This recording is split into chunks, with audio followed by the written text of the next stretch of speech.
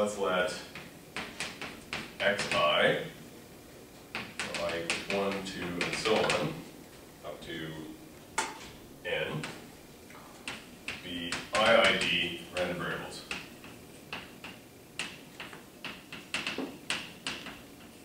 Does anybody know what IID stands for?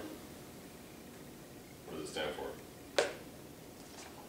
Identically independent. It stands for independent and identically distributed.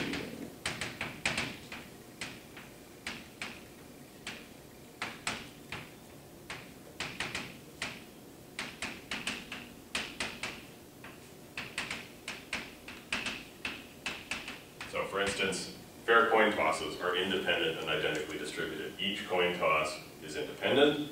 Each coin toss has the same probability of occurrence of heads and tails. Um, so if xi are independent and identically distributed random variables, then each xi is independent and each xi has the same distribution. Then,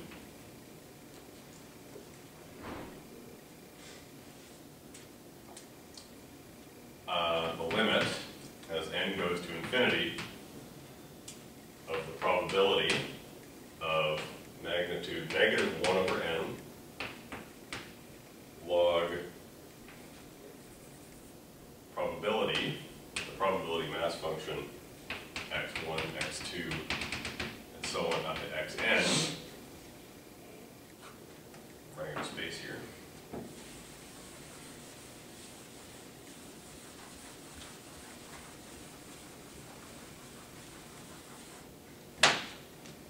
Negative 1 over n log probability, this probability, minus the entropy,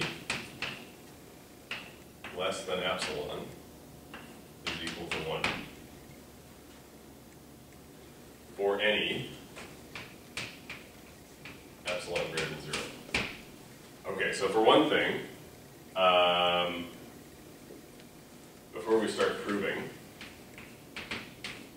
you should immediately notice that this is basically the statement of the weak law of large numbers, except with some odd substitutions. So, um, for one thing, limit n goes to infinity of something being less than epsilon for any epsilon greater than zero, immediately you should recognize this as the weak law of large numbers. But what do we have here? This seems to have taken the rule of expected value of x, and this appears to have taken the role of sample mean.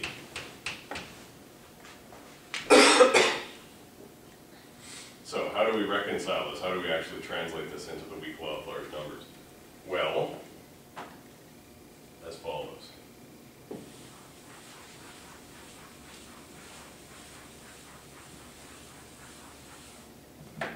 So, proof.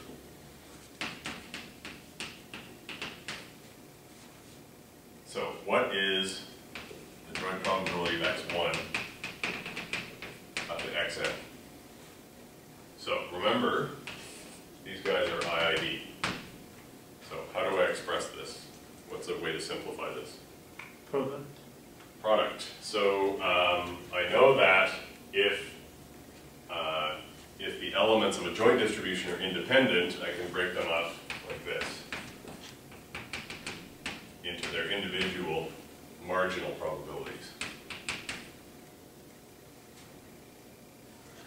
But furthermore, so this is the independent part.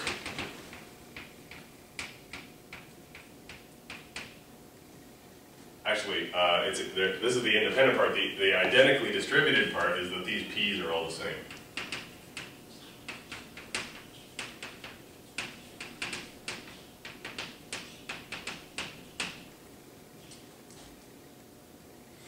Okay, if I take log of that,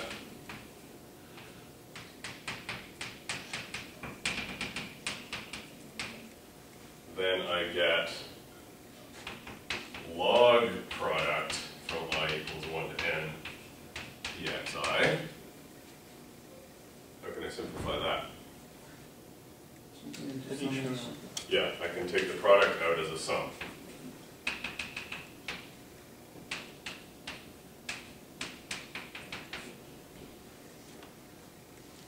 So, I'm almost to the point where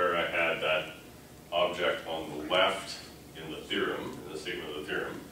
The only thing I have left is to do this, negative. Actually, what I have, um, what I have left to do is negative 1 over n. So, I can put negative 1 over n here.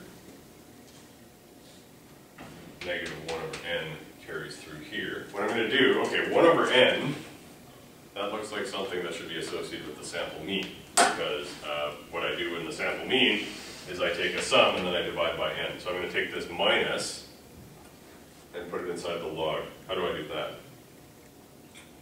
I take the reciprocal. So this is equal to 1 over n, sum i equals 1 to n, log 1 over px, pxi. Okay, so that's very interesting. Let's, um, now I appear to have something like the sample mean over log 1 over pxi. So if I were to make a substitution and say qi equals log 1 over pxi, so for one thing, because xi is iid, qi must be iid because basically I'm doing the same thing to each xi. Uh, so the qi's must be independent because I'm, each one is only a function of x of xi. And they must be identically distributed because I'm doing the same thing to each one.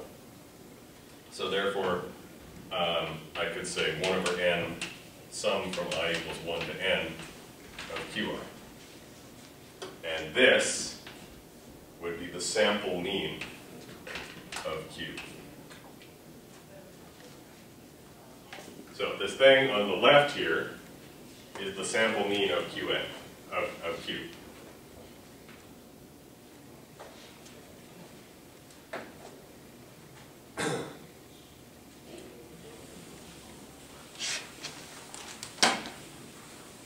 on the other hand, so remember that Qi is log P of xi.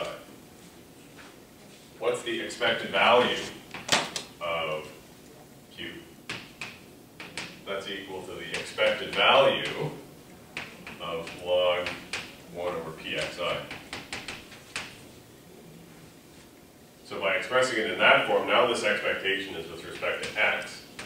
So that sum from x equals, uh, sum over all, all values of x, all valid values of x, p of x log 1 over p of x. And what is that? That's entropy. That's the entropy of X. So, taking the weak law of large numbers here, what do I have? I have this. So the, the statement of the weak law of large numbers here would be the following. Uh, limit n goes to infinity, probability of the magnitude of the sample mean diverging from the expected value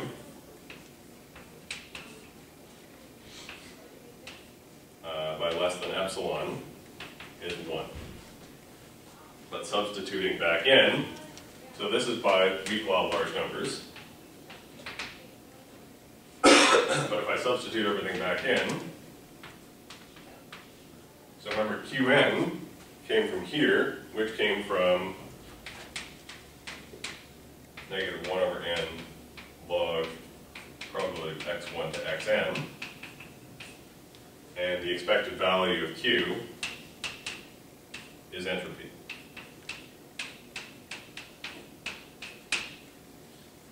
So that's it. We're done. Now, this is really interesting. So, um, I told you how to calculate entropy a couple of classes ago.